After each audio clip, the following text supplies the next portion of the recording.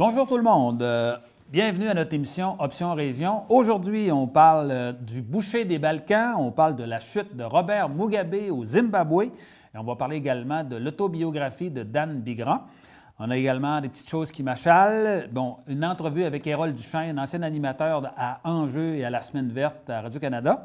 Et on commence par l'actualité. On parle du boucher des Balkans. Une bonne nouvelle, euh, c'est qu'on a appris dans les derniers jours que celui qu'on appelait le boucher des Balkans, qui s'appelait Ratko Mladic, l'ancien chef militaire des Serbes de Bosnie en ex-Yougoslavie, celui qui a fait exécuter des milliers de musulmans, a été condamné à la prison à perpétuité par le tribunal pénal international. C'était le dernier de trois accusés qui ont fait assassiner autour de 100 000 personnes en, ex-Yougoslavie entre 1992 et 1995. C'est une bonne nouvelle parce que ce que ça veut dire, c'est que c'est un message aux dictateurs, aux malades mentales qui tuent du monde inutilement euh, pour se garder au pouvoir. Ben, si vous faites quelque chose de pas correct, vous allez être un jour puni. Je pense que c'est une bonne leçon. Puis il faut que ça continue dans ce sens-là. Deuxième, la chute de Robert Mugabe, président dictateur du Zimbabwe. On a assisté la semaine dernière à la démission d'un des plus vieux dictateurs euh, d'Afrique. Il s'agit de Robert Mugabe. Euh, il a démissionné à 93 ans, ça fait 37 ans qu'il était au pouvoir. Il a fini par accepter de démissionner avant qu'on le mette dehors, comme on dit. On lui a fait comprendre à lui et à sa femme euh, qui voulait prendre la relève qu'ils étaient mieux de s'en aller tous les deux. Euh, sa femme disait que Robert Mugabe ne pouvait, être, ne pouvait être renversé parce que, dans le fond, c'est Dieu qui l'avait mis là. Mais Dieu a probablement oublié de s'en occuper, notamment parce que dans les dernières années, il était rendu assez sénile. Euh, bon, il pouvait euh, s'endormir un peu partout dans le Parlement, dans les rencontres internationales. Puis, entre autres, il a dévolu le même discours deux fois d'affilée au Parlement sans s'en apercevoir. Mais il n'a pas toujours été dictateur. C'était un gars qui, au début, participait à la libération de son pays, qui était à ce moment-là, ça s'appelait la Rhodésie du Sud. C'était un régime totalement anti-noir dans lequel les Noirs avaient aucun, aucun droit. Fait que notre ami Mugabe a décidé de renverser ce régime-là, qui était bien. Euh, il est devenu le premier premier ministre d'un nouveau pays qui s'appelait le Zimbabwe. Mais par la suite, ça s'est gâté rapidement. Il est devenu un dictateur assez rapidement, comme malheureusement on voit souvent en Afrique. Il s'est empli les poches, comme la plupart des dictateurs font en commençant. Puis par la suite, il a essayé toutes sortes d'affaires qui ne marchaient pas, qui a détruit l'économie à peu près au complet. Et le Zimbabwe est parti de ce qu'on, appelait euh, le grenier de maïs de l'Afrique à un endroit où on manquait totalement de nourriture. Il a tellement bien travaillé, entre guillemets, que euh, dans les années 2000, on a atteint des niveaux d'inflation de 2200 millions de fois d'inflation, de, pourcentage d'inflation. 2 millions de pourcentage d'inflation, c'est complètement fou. Euh, puis, euh, on dit qu'en 2010, le revenu moyen d'une famille de 6 personnes au Zimbabwe était de 6 par mois je vous parle de ça, entre autres, parce qu'il y a des gens qui ont souvent des solutions faciles, du genre, on a juste à nationaliser les banques, puis on va devenir riche, on a juste à augmenter la quantité d'argent, on a juste à imprimer de l'argent, puis à ce moment-là, on va tout repayer nos dettes, puis ça va tout s'arranger tout seul. C'est plus compliqué que ça, parce que c'est entre autres ce qu'a fait Robert Mugabe. Il a décidé d'imprimer des billets des, dollars du Zimbabwe. Il en a imprimé de plus en plus avec des plus en plus gros montants. Et entre autres, c'est allé jusqu'à des billets de 100 000 milliards de dollars. Ça, c'est dire que c'est 1 avec 14 zéros. c'est complètement fou parce que ça, ça équivaut à peu près, euh, ça équivaut à un billet de 100 000 milliards du Zimbabwe, si on était en dollars canadiens, ça équivalerait autour de 1300 fois le budget du Québec par année. Ben, savez-vous combien ça valait un billet de 100 000 milliards de dollars du Zimbabwe autour des années 2008? Ça valait à peu près 35 cents américains. Pourquoi c'est comme ça? Ben, ce n'est pas le chiffre que tu mets sur le billet de banque qui en fait sa valeur, c'est la valeur de l'économie du pays qui donne de la valeur à la monnaie. Et comme Mugabe a réussi à détruire à peu près complètement son économie, on dit que même encore aujourd'hui, il y a entre 80 et 90% des gens qui sont au, chômage, ben, leur monnaie ne vaut rien si vous entendez des gens qui disent là, des solutions du genre on va imprimer plus d'argent, vous leur donnerez comme conseil va donc voir au Zimbabwe, puis on s'en reparlera après. On passe maintenant à l'entrevue avec M. Hérol Duchesne et on va parler d'enjeux agroalimentaires. M. Duchesne est natif d'Alma. Euh, au Lac-Saint-Jean. Il est diplômé en journaliste. Il a passé une bonne partie de sa vie dans, les médias, que ce soit à Télé-Québec ou à Radio-Canada, euh, notamment à l'émission Enjeu. Et par la suite, il va devenir animateur à la Semaine verte à Radio-Canada. Vous avez fait partie de l'équipe de la Semaine verte à Radio-Canada pendant plus de dix ans. Quels sont vos meilleurs souvenirs de votre passage à cette émission?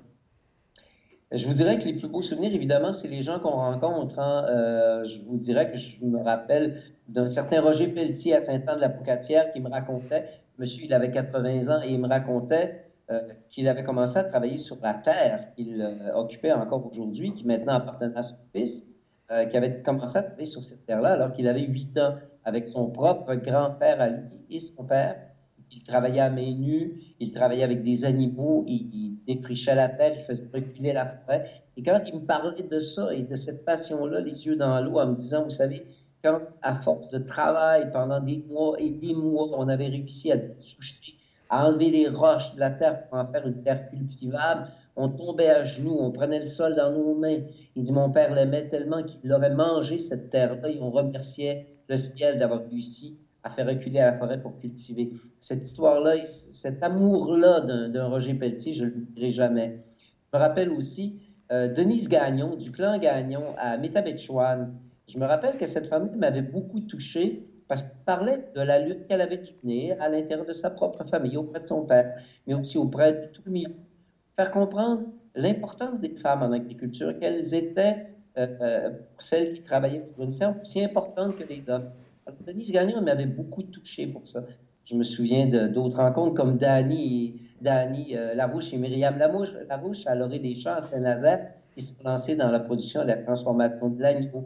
Euh, mon Dieu, euh, je pourrais vous parler de Madeleine Boivin, de Normand Côté, de la fromagerie Pidard à, Saint-Gédéon. C'est toutes ces personnes-là qui ont fait comprendre l'importance de l'agriculture, du travail, du respect de la terre, de l'amour des bêtes. Ils m'ont parce que je suis arrivé à la semaine verte en croyant tout savoir de ce milieu-là et c'était complètement faux. Il y a une chose que je ne comprenais pas, je pense, c'était l'amour que ces gens-là ont pour leur travail. C'est presque une mission dans bien des cas. Et euh, de les voir vibrer autant et d'être aussi attachés à leur métier, ça m'a enrichi comme, euh, comme je ne l'aurais pas imaginé avant d'aller la semaine. C'est sûr que les gens qui ont défriché des terres à force de bras, euh, puis que arbre par arbre, le sentiment d'appartenance doit être extrêmement profond. Puis ces gens-là, ils, ont, ils ont un amour de la terre que personne ne pourrait avoir s'il a acheté ça 200 000 puis que la terre était faite. Là. Bien sûr. C'est comme n'importe quel individu qui passe sa vie à construire quelque chose à, travailler très durement. Parfois, on a juste un petit chalet qu'on a cultivé pendant 40, 50 ans. Les, enfants veulent le garder parce qu'il y a une histoire d'attacher à ça. Il y a un attachement émotif au-delà de gagner sa vie puis de recevoir de l'argent pour le travail qu'on fait. J'ai toujours aimé l'émission La Semaine verte, puis il me semble que quand j'étais plus jeune, on parlait, beaucoup d'agriculture, mais pas beaucoup d'environnement. Est-ce que je me trompe qu'il y a eu une évolution vers une ouverture plus large, parler davantage d'environnement? Puis si c'est le cas, comment ça s'est passé, cette transition-là? Mais vous avez raison qu'elle a une évolution. Il faut rappeler que cette émission-là, elle a près de 50 ans. Elle a été créée en 1971 et quand elle a été créée en 1971, son objectif, c'était d'enseigner aux agriculteurs du Québec les meilleures pratiques pour avoir les meilleurs résultats possibles euh, en travaillant la terre et en élevant les bêtes. Au fil des ans, évidemment, l'émission s'est transformée. Je dirais qu'elle est passée d'un miroir à une fenêtre. Pendant longtemps, ça a été les agriculteurs le miroir de ce qu'ils étaient. On va vous montrer ce que vous êtes et comment travailler la terre. Et tranquillement, c'est devenu une fenêtre, c'est-à-dire de montrer à tous ceux qui étaient non-agriculteurs au Québec faut rappeler, il y a 40 000 agriculteurs pour 8 millions de Québécois quand même. Donc, c'était une fenêtre sur l'agriculture pour parler aux agriculteurs, mais surtout pour parler, euh, pas surtout, pour parler également à tous ceux qui étaient non-agriculteurs, pour montrer ce qu'était l'agriculture et faire comprendre, faire prendre conscience aux gens que l'agriculture, c'est à la fois une responsabilité et un patrimoine collectif. Alors oui, l'émission, elle a beaucoup évolué sur toutes les questions qui intéressaient tout le monde. Euh, les questions économiques, environnementales, euh, euh, sociales, tout autant que de parler spécifiquement du travail de la terre et de l'élevage des bêtes. Vous dites qu'il y a eu une évolution à la semaine verte, mais dans le monde agricole aussi, il y a eu des changements importants. Si je vous demandais quels ont été les principaux changements depuis les 25 dernières années, par exemple? Les transformations, je vous dirais, elles commencent peut-être il y a 40 ou 50 ans. Euh, bien sûr, ça s'est accentué peut-être au cours des 25 dernières années, mais pendant longtemps, l'agriculture québécoise, comme la majorité de l'agriculture dans les pays industrialisés, sauf quelques pays où il y avait une longue tradition de transformation, mais dans la majorité des pays industrialisés, comme chez nous, c'était de produire des gros volumes d'aliments euh, euh, de commodité. on sait, vous comme moi, à l'âge qu'on a là, si je regarde vos cheveux, puis le petit bout de front qui, qui, Le grand bout de front. Alors, comme moi, on est élevé à une époque où on mangeait des aliments de commodité, des aliments simples, hein, des carottes, des oignons, des pommes de terre, euh, du porc, euh, euh, du bœuf, un peu de veau, voilà. Donc, pendant longtemps, on a répondu aux besoins de base des gens pour s'alimenter. En agriculture, c'était ça la fonction de l'agriculteur. Mais au fil des ans, on commencé à produire de plus gros volumes et à modifier un peu l'offre qui était offerte justement aux gens. Donc, c'est-à-dire amener de nouveaux aliments. Et au cours des 25 dernières années, là où il y a eu la plus grande transformation, c'est justement en transformation alimentaire, c'est-à-dire de valoriser leurs produits, d'en faire de la deuxième ou troisième transformation. Alors, ce qu'on a vu apparaître, c'est les fromages québécois. Donc, des producteurs, des agriculteurs se sont dit, je peux faire plus avec ça. Plutôt que de vendre ma matière de base, uniquement du lait, ma matière première, je peux faire quelque chose avec. Alors, la plus grande révolution, je pense, a été d'abord dans le monde des fromages, mais on l'a vu aussi en pomiculture. On a vu des cidres, on se souvenait des mauvais cidres d'il y a 40 ans. On a renouvelé la cidriculture québécoise, donc on a fait ça en pomiculture. On l'a fait avec l'agneau. Je vous parlais tout à l'heure de, de Myriam et de Daniel Larouche à des Champs, à Saint-Nazaire. Mais on a vu des producteurs comme ça de dire, nous, on va transformer nos produits, on va vendre à la ferme, on va valoriser nos produits. Alors, je vous dirais que la plus grande transformation, elle a probablement été là. Est-ce que vous êtes inquiet pour l'avenir de l'agriculture euh, quand on entend régulièrement parler de remise en question de la gestion de l'offre? Euh, on regarde les nuages noirs qui semblent s'accumuler au-dessus de, de l'accord de, libre-échange. Est-ce que vous êtes inquiet pour l'agriculture? Alors, bien sûr qu'il y a certaines inquiétudes, plus particulièrement à l'égard de la gestion de l'offre. Vous avez raison. Ça fait des années qu'elle est menacée. On voit que tranquillement, on ouvre la porte à ce que des produits transformés ou des produits euh, laitiers, probablement qu'un jour, ce sera des produits de, de, la volaille ou des œufs qui vont rentrer passivement ici, ou en tout cas de façon plus importante. Évidemment qu'il y a là une inquiétude. Je vous dirais que la plus grande inquiétude, parce que la gestion de l'offre, ça concerne quand même trois secteurs d'activité, les œufs, le lait, la volaille. Oui, c'est inquiétant pour ça. Je ne crois pas que la gestion de l'offre va survivre encore 30 ou 40 ans. Je pense que tranquillement, on va commencer à ouvrir la porte de plus en plus à l'arrivée de produits étrangers et qu'il va falloir avoir des programmes extrêmement sérieux et importants pour pas qu'il se passe ce qui s'est passé en Australie, c'est-à-dire la mort pure et simple de petites fermes. Donc, on va devoir aider ces secteurs d'activité-là. Mais plus globalement, pour l'ensemble de l'agriculture, la plus grosse inquiétude, le plus grand défi, c'est de donner des outils, des moyens aux agriculteurs d'ici pour concurrencer les produits étrangers. Ils rentrent chez nous massivement de plus en plus de produits qui sont produits ailleurs dans des conditions qui n'ont rien à voir avec les nôtres. On permet que ces aliments-là rentrent chez nous alors qu'ils sont euh, produits dans des conditions environnementales qui sont interdites ici. Alors que les travailleurs agricoles gagnent 6 fois, 8 fois, 20 fois moins que les nôtres, alors qu'ils sont euh, plus subventionnés que les nôtres et ainsi de suite. Donc, quand arrivent des produits étrangers qui coûtent moins cher, on prend juste l'exemple des fromages français qui coûtent moins cher. Et tout le monde se pose la question. C'est beaucoup plus subventionné ici que le, lait français. Alors, réussir à donner des outils pour que les agriculteurs québécois soient capables de concurrencer ces produits-là qui rentrent ici avec une certaine injustice, parce qu'ils sont produits dans des conditions qui ne sont pas les nôtres, c'est le plus grand défi des prochaines années et c'est ce qui m'inquiète le plus. Et l'autre dossier qui m'inquiète, c'est l'accaparement des terres. Est-ce qu'on va continuer à avoir euh, des banques, avoir des investisseurs, acheter massivement des terres agricoles pour qu'un jour, tout ça appartienne à des investisseurs et que tous ceux qui y travaillent soient des employés. Je ne pense pas que c'est un, avantage, je ne pense pas que c'est un plus. Au contraire, je pense que l'agriculteur doit encore occuper le territoire de la terre qu'il cultive. Dans la conférence que vous allez donner à Saint-Cœur-de-Marie pour les fêtes gourmandes, on lit dans l'invitation que vous allez livrer un message de sens afin de stimuler la mobilisation citoyenne autour des grands enjeux agroalimentaires. Qu'est-ce que vous entendez par livrer un message de sens?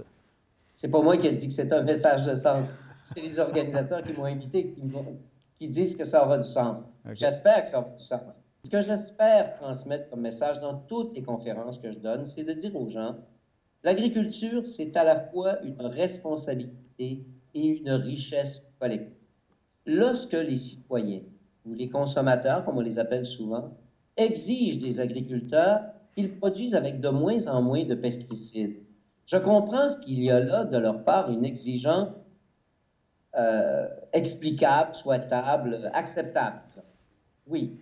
Mais il faut comprendre que si on exige des agriculteurs qu'ils produisent avec moins de pesticides, avec euh, des, normes plus, euh, plus sévères pour ce qui est du bien-être animal, qu'on exige tout cela avec plus d'aliments biologiques et ainsi de suite, si nous, on souhaite ça, il faut les soutenir. Il faut les soutenir collectivement. On ne peut pas à chaque fois leur dire voici ce que vous devez faire et c'est votre responsabilité. Assumez-en tous les Vous travaillez très fort, puis nous, on peut continuer à payer le même prix. Je veux faire comprendre, prendre conscience aux gens là, que l'agriculture, c'est une richesse absolument incroyable. On est dans un pays où la majorité des gens, pour pas dire la presque totalité, ont accès à trois repas par jour. On n'a jamais à s'inquiéter. Il y a des pays où on voit ce que c'est que d'avoir faim. Ça crée des études, ça crée des guerres civiles. Nous, on n'a pas ce problème-là. On n'a pas à s'inquiéter de ça. Alors, si on exige autant des agriculteurs, il faut prendre conscience de tout ce qu'ils ont créé, de tout ce qu'ils ont bâti, puis collectivement les aider à maintenir ça en place. Il y a des gens qui disent qu'une euh, des façons d'aider l'agriculture puis la transformation, c'est d'aller dans les, ce qu'on appelle les appellations contrôlées, comme on voit en France. Est-ce que vous pensez que c'est une bonne piste? Puis qu'est-ce qu'on pourrait faire si c'est une bonne piste pour aider à faire avancer ça? C'est une bonne piste, mais pas pour tout le monde. Il faut comprendre que encore et encore et euh, toujours probablement, il faudra des aliments de base. Il faudra des carottes, il faudra du porc, il faudra du bœuf, il faudra euh, des légumes simples qui ne sont pas nécessairement transformés et qui sont accessibles pour une majorité des gens. Évidemment, je considère que, bien sûr, il y a dans certains secteurs des aliments de spécialité, des aliments qui sont plus de créneaux, qui s'adressent peut-être à une plus petite catégorie de gens, ou qui s'adressent à tout le monde, mais pour des repas plus particuliers, pour des repas d'exception. Alors évidemment que les appellations contrôlées, ce qu'on dit au Québec, on appelle ça des appellations réservées. Alors les appellations réservées comme l'agneau de Charlevoix, l'agneau de Charlevoix a été la première appellation réservée au Québec. La première. Et la deuxième en Amérique du Nord.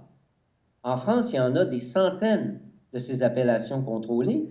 Ici, en Amérique, ce n'était pas une tradition. Il y avait euh, euh, euh, la gave, excusez, la tequila. Et la deuxième, ça a été l'agneau de Charlevoix. Donc, je vous dis que ce n'est pas la solution pour tout le monde, parce que malgré tout, c'est un travail qui est très, très long. Ça a pris 12 ans à Lucie Cadieux et à son groupe créer l'appellation réservée de l'agneau de Charlevoix. Donc, c'est un travail qui est extrêmement long. Il y a des cahiers de charges, c'est restrictif, et ainsi de suite. Et oui, pour certains, c'est une avenue plus qu'intéressante et il faut bien sûr les multiplier. Euh, il y a d'ailleurs plusieurs projets. Conseil des appellations réservées des termes valorisants. Alors oui, pour répondre à votre question, c'est une avenue. Ce n'est pas pour tout le monde. C'est beaucoup de travail. Et ce qui est extraordinaire, c'est qu'à travers ces produits de spécialité-là, on finit par donner une couleur à un pays. On sait qu'en France, euh, quand on y va, puis quand on se promène dans les campagnes, on voit à quel point euh, culture patrimoniale du goût, elle est importante. Alors ici, il faut la construire. Elle est encore à construire, cette culture patrimoniale du goût, mais ce n'est pas, pas pour tout le monde. Et je ne pense pas que c'est que ça qui peut sauver l'agriculture. Il faut aussi penser à l'agriculture de masse, à ce qui produit un plus gros volume. Il faut sauver tous les secteurs de l'activité agricole. On a beaucoup de petits producteurs dans toutes sortes de domaines, là, que ce soit euh, dans les fromages, dans les bières, dans euh, les boissons maintenant, on voit même les gins, etc. Euh, puis on est très bon dans la production, mais dans la mise en marché, beaucoup éprouvent beaucoup de difficultés parce qu'entre autres, c'est pas facile, ils sont trop petits. Qu'est-ce qu'on pourrait faire pour les aider à, à pouvoir euh, développer leur mise en marché? Non, non, vous mettez le doigt sur quelque chose d'extrêmement important, c'est vrai. On a vu, par exemple, pour ce qui est du vin québécois ou des cidres québécois, à quel point il a été complexe pour les euh, vignerons d'ici de faire entrer leurs alcools dans la Société des alcools. C'était un véritable scandale. La Société des alcools les regardait avec mépris. Ça a pris des années avant qu'on comprenne qu'on devait les soutenir. Ça y est, c'est fait. Je pense qu'il commence à y avoir une plus grande sensibilité des grandes institutions à l'égard des produits d'ici, mais ça reste un problème pour les petits producteurs de développer des marchés. On dit souvent que l'agriculteur, il y a deux tâches, produire et vendre. Vendre, pour lui, c'est complexe. Plus les petits, plus c'est complexe. La solution, bien sûr, c'est de la vente à la ferme, c'est de l'autocueillette, c'est des marchés publics. Et pour moi, c'est beaucoup plus que ça. Il faut, peut-être à l'exemple du Danemark, il faut absolument que les institutions publiques en région ouvrent leurs portes et leurs cuisines aux petits producteurs qu'il y a en région. C'est un peu scandaleux de voir qu'on les laisse eux-mêmes et qu'on leur dit développe ton marché. Le supermarché ne prendra pas tes produits parce que tu ne produis pas assez à gros volume. Euh, nous, on n'en achètera pas non plus à, l'hôpital parce qu'on achète aussi à gros volume. On est, on est prêt avec des budgets restrictifs pour ce qui est des aliments. On ne peut pas continuer à laisser les petits producteurs à eux-mêmes continuellement. Donc, il va falloir créer des réseaux. Il va falloir qu'ils et, il y en a des réseaux. Vous savez, il y en a chez les producteurs de fromage et il y en a dans d'autres secteurs d'activité. On, l'a vu chez les producteurs de fraises. Donc, je pense que le réseautage est une solution. Il doit y avoir aussi dans les régions la valorisation de ces produits-là. Et, il doit y avoir, euh, vous savez, les marchés publics, c'est maintenu souvent à bout de bras par les agriculteurs. Ben, il faut que les élus locaux les soutiennent. Il y en a qui le font et qui le font très bien, mais encore davantage. Mais ce n'est pas une facile à gagner pour les petits producteurs, je le sais. En terminant, est-ce que vous auriez un coup de cœur que vous devriez euh, faire connaître à nos auditeurs et nos auditrices? Euh? Des coups de cœur des produits. Euh, il est évident que la gourgane et le bleuet restent pour moi des aliments de cœur parce que j'ai été élevé dans la région, mais je vous dirais ce que j'ai vu apparaître au cours des dernières années à Montréal, parce que j'habite Montréal, à Montréal, c'est des produits régionaux qui maintenant sont vendus et distribués à Montréal. Comme par exemple les jambons Perron et Fortin. Moi, écoutez, mes amis qui n'ont jamais mis les... Non, c'est pas vrai. Ils sont déjà venus au Lac-Saint-Jean, mais qui ne sont pas originaires du Lac-Saint-Jean. Quand j'arrive dans les cantons de l'Est, chez mon ami Marthe et mes amis Marthe et Jean, et qui me servent du jambon Perron, qui me dit c'est le meilleur actuellement dans le supermarché. Waouh! Quelle fierté! Quand j'arrive chez mon ami Luce, elle, c'est le Fortin qu'elle préfère. Je suis drôlement content de voir cela. Euh, évidemment, les, fromages de la fromagerie Médard, il y a combien de mes amis qui me disent ah, c'est parmi les meilleurs fromages québécois qui sont actuellement. Alors, pour moi, c'est un coup cœur. Puis évidemment, l'agneau, euh, c'est une des viandes que j'aime le plus avec Myriam et Dani. Je les salue, puis euh, ils font des produits excellents. Voilà. Bien, merci beaucoup. C'était très intéressant. Les petites choses qui m'achalent. Bon, à Option Région, j'essaye de manière générale de faire plus de, propositions que de critiques. J'essaye d'amener des solutions. Mais je vais vous dire, des fois, là, je me demande euh, si je ne devrais pas changer ça un petit peu, parce qu'entre autres, me demande si je ne devrais pas faire une nouvelle chronique qui s'intitulerait Le crosseur du mois.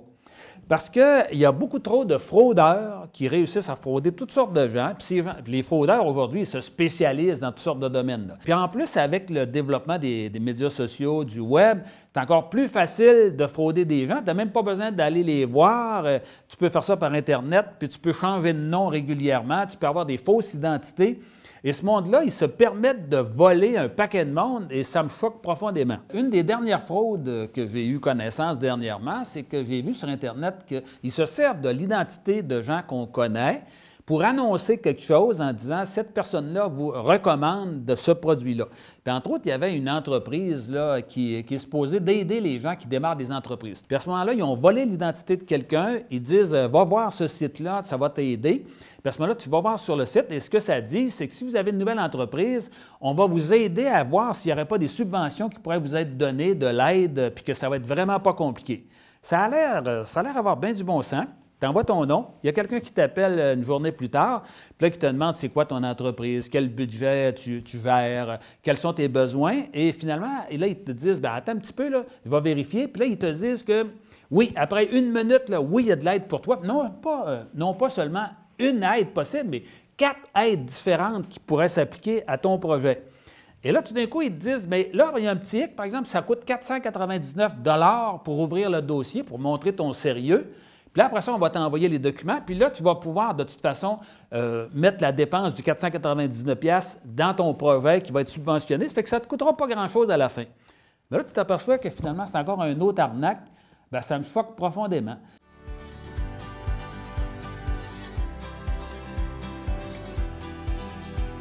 Comme suggestion de la semaine, euh, je vous propose un livre que vous pourriez acheter ou faire un cadeau avec. C'est le livre de Dan Bigra, qui est l'autobiographie de Dan Bigra, qui s'intitule Le temps des seigneurs aux éditions Québec-Amérique. Bon, j'ai terminé cette autobiographie euh, cette semaine, puis j'ai été vraiment enchanté. C'était très intéressant. Ça m'a intéressé, mais en plus, ça m'a interpellé.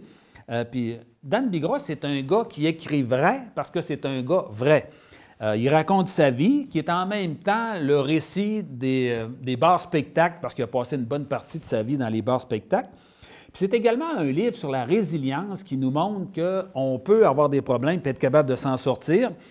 Et lui, entre autres, il nous raconte qu'il en a traversé des épreuves, puis il est parti de loin, comme on dit, puis il a réussi à faire quelque chose d'assez intéressant. Entre autres, il nous raconte que durant, une bonne partie de sa vie, il prenait trois bouteilles de vin par jour, euh, de trois bouteilles de vin rouge, puis une demi-bouteille de scotch. Euh, ça fesse dans le mythe, comme on dit, puis à un moment donné, il a arrêté ça complètement quand on lui a dit il te reste un an ou deux à vivre si tu continues comme ça.